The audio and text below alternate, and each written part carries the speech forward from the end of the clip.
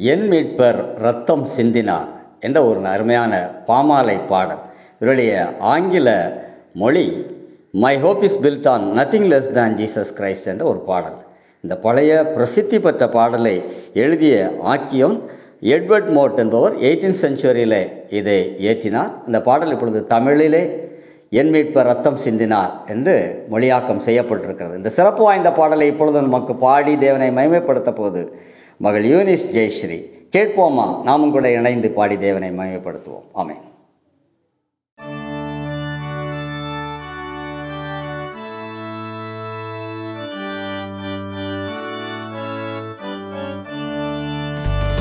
என்